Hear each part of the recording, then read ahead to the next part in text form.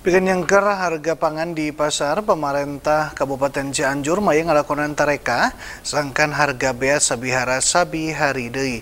Eta ketakta dilakonan ngaliwatan bazar pangan murah. Warga tembong ngarogrog bari pasasadak pikeun mareli kabutuh pokok sewang-sewangan luyu kana kaperluanana.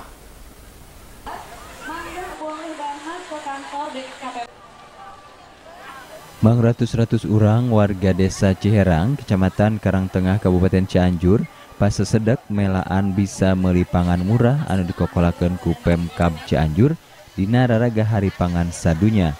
Kegiatan bazar pangan murah anu geus ka genep kalina dikokolakan ku Pemkab Cianjur tujuanana pikeun nyengker ngajaulna harga pangan di pasar. Upama bae harga beas di pasar anu ngahonta 13.500 tepi ka 14.000 sakilo, di neta bazar pangan murah mah ukur 10.000 genep ratus rupiah saban kilona.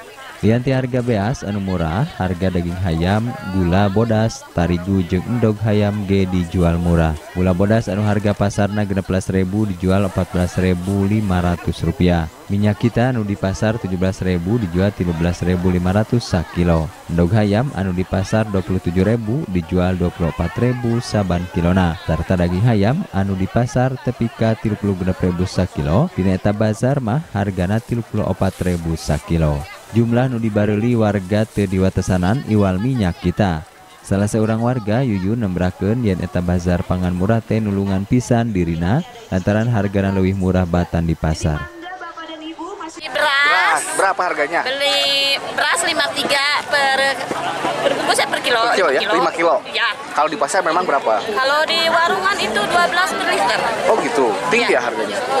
Gimana mahal nggak menurut ibu Di mana? di warung di pasar? Di warung di sana di dekat. Mahal ya? Enggak, enggak ya sedang lah. Sedang ya. Dengan ini gimana ngerasa kebantu nggak dengan harga murah ini? Alhamdulillah bisa bisa kebantu. Kaliwatan eta bazar pangan teh warga miharap harga-harga pangan di pasar bisa sabihara sabihari deui. Heri Setiawan, Bandung TV.